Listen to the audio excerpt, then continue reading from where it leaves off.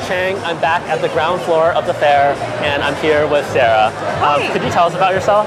I'm. My name is Sarah Fayed. I'm from the Graduate School of Design. Um, I'm second year urban design student, um, Masters of Urban Design, and my current concentration is looking at affordable housing inequality in cities um, and how we can build more housing and equity for cities.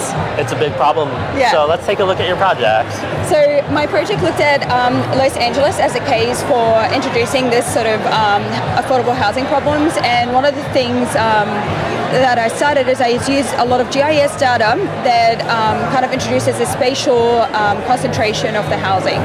So if you zoom out on my website, um, you can see that there's metro stations and the different type of housing that I introduced in Los Angeles.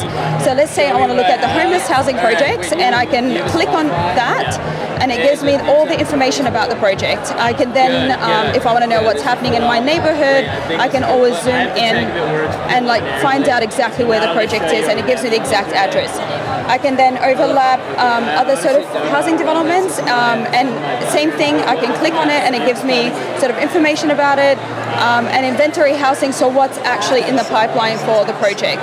So here I can click on it again, and it gives me all the information. Cool. Um, I've always really liked visualizations. Like you can see patterns visually that like looking at like spreadsheets will never get you.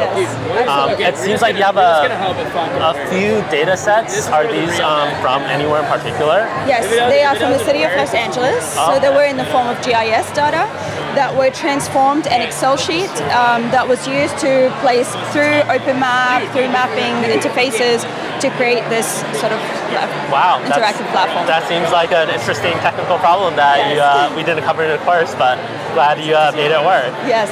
Um, so did you have prior CS background before this course? No, I actually never even looked at a code. I used to look at a code and just freak out. now I can look at a code and be like, oh, that's interesting. yeah. Uh, what inspired you or what motivated you to like finally take the leap into CS?